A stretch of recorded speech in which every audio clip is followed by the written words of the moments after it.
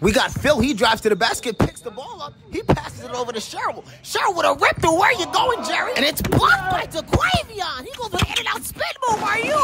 And now he's going to go with a Geo Wise. Oh my gosh. Watch your step. And he does it again. He, she goes down. He's going to go with a windmill slam and Jammy on the break. A true prodigy with Easy. the monster throwdown.